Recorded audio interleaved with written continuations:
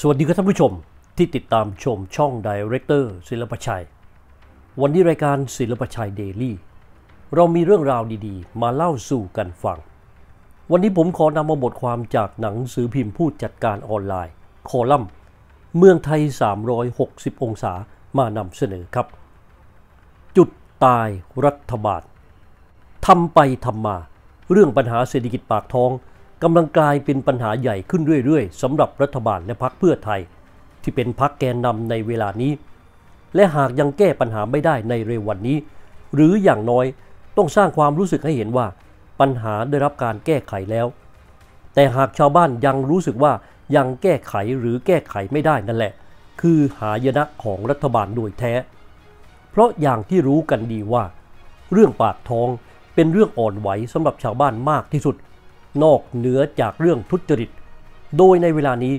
ปัญหาปากท้องกำลังเริ่มกลายเป็นกระแสที่กำลังมีการพูดถึงมากขึ้นเรื่อยๆ เพราะเวลานี้เรื่องแพงทั้งแผ่นดินกำลังถูกกล่าวถึงแบบกระจายออกไปเรื่อยๆ จนเวลานี้เริ่มกลายเป็นกระแสมีการพูดกันแบบปากต่อปากมากขึ้น ขณะเดียวกัน แม้ว่าหากพิจารณากันอย่างเป็นธรรมแล้ว วิกฤตเศรษฐกิจกำลังเกิดขึ้นในหลายประเทศทั่วโลก จากปัญหาต่อเนื่องจากโรคระบาดโควิด ปัญหาสงคราม ความขัดแย้งของมหาอำนาจ และนำไปสู่ราคาพลังงานที่พุ่งสูงขึ้นเป็นประวัติการณ์ทำให้เกิดผลกระทบเป็นลูกโซ่ไปหมด ซึ่งประเทศไทยก็โดนเข้าเต็มๆด้วย แต่สำหรับพรรคเพื่อไทยและรัฐบาลของนายเศรษฐาแล้วถือว่า ความคาดหวังเอาไว้สูงลิ่ว เพราะก่อนหน้านี้โมเอาไว้เยอะ ทั้งคำพูดที่ว่าคิดใหญ่ทำเป็น หรือเป็นมืออาชีพในเรื่องเศรษฐกิจ พร้อมกับออกนโยบายที่สร้างความหวังมากมาย แต่กลายเป็นว่าเมื่อเป็นรัฐบาลแล้ว ผ่านมาเกือบปีแล้ว ก็ยังถูกมองว่า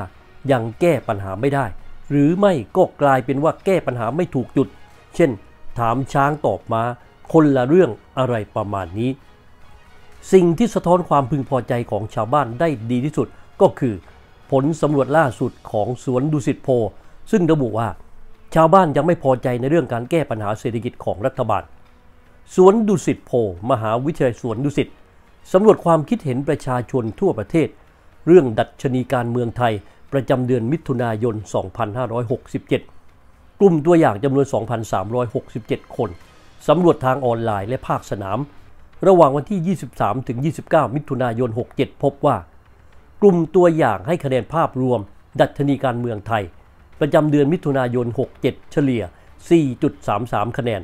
ลดลงจากเดือนพฤษภาคม 67 ที่ได้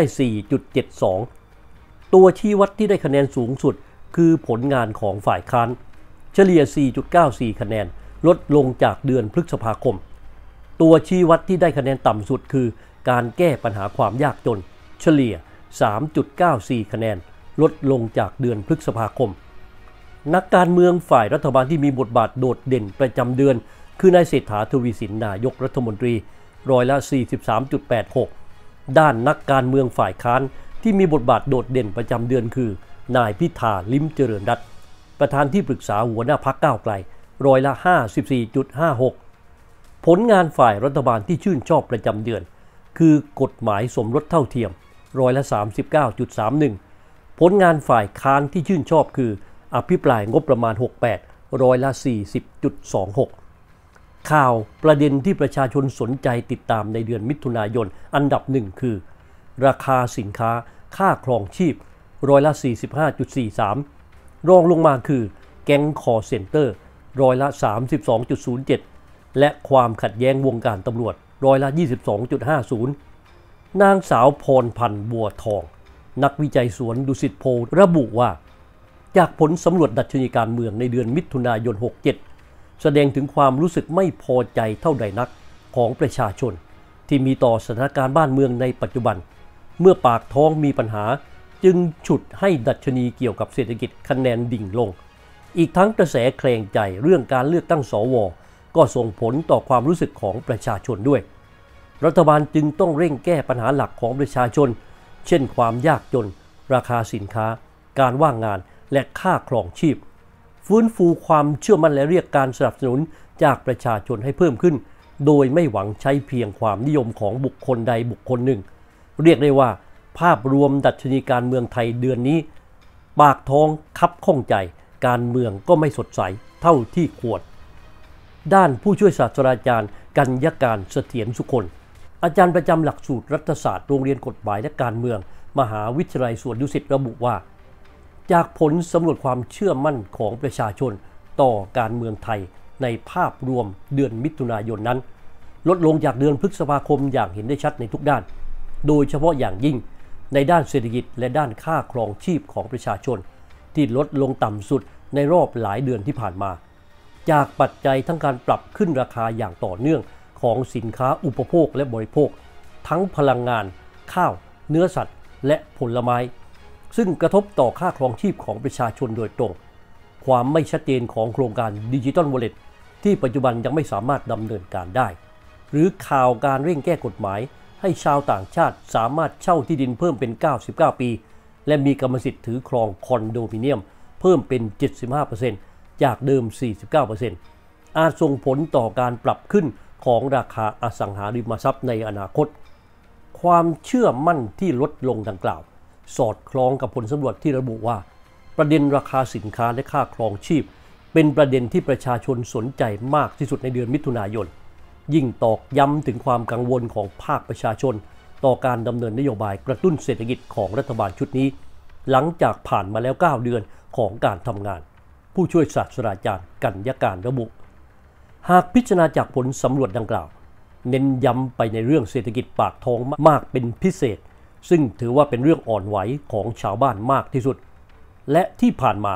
รัฐบาลทุกรัฐบาลหากมีปัญหาเรื่องนี้เมื่อไหร่ ก็ย่อมมีผลกับการเลือกตั้งในครั้งต่อไปแน่นอน เพราะเมื่อเริ่มจากเรื่องปากท้องของแพงค่าครองชีพสูงขึ้น และสิ่งที่เห็นในเวลานี้ก็มีแต่เรื่องเสียงบ่นเรื่องของแพงอยู่ทุกวัน อารมณ์ความรู้สึกแบบนี้ถือว่าเป็นงานยาก และเป็นสัญญาณอันตรายกับรัฐบาลของพรรคเพื่อไทย ที่ต้องเร่งแก้ปัญหาให้ชาวบ้านพอใจให้เร็วที่สุด และที่สำคัญมีฝ่ายตรงข้ามที่เป็นคู่แข่งอย่างพรรคก้าวไกล ที่มีคะแนนความนิยมทิ้งห่างไปไกลสุดกูแล้ว ซึ่งหากมองตามรูปการแล้ว ยังมองไม่เห็นแนวโน้มที่ดีในระยะเวลาใกล้นี้ ตรงกันข้ามมีแต่จะทิ้งดิ่งลงเหวไปกว่าเดิมด้วยซ้ำไป ดังนั้นแม้ว่าเรื่องปัญหาปากท้องเป็นเรื่องเศรษฐกิจโดยตรง แต่มันก็เชื่อมโยง ไปในเรื่องการเมืองเข้าไปเต็มๆ เพราะหากรัฐบาลยังแก้ไม่ได้ หรือไม่อาจสร้างความรู้สึกที่ดีกับประชาชน มันก็เหมือนหายนะย่อมส่งผลต่อการเลือกตั้ง ซึ่งเวลานี้ยังไม่เห็นแววฟื้น มีแต่จะถูกทิ้งห่างออกไปเรื่อยๆศิลปชัย Daily เรามีเรื่องราวดีๆ มาเล่าสู่กันฟังทุกวัน สวัสดีครับสำหรับผู้ที่ชื่นชอบขนมไทยและขนมอบ ซึ่งเป็นงานโฮมเมด เน้นวัตถุดิบที่มีคุณภาพ และเน้นความสะอาดทุกขั้นตอนในการผลิต รับประกันความอร่อยที่ไม่ทำลายสุขภาพ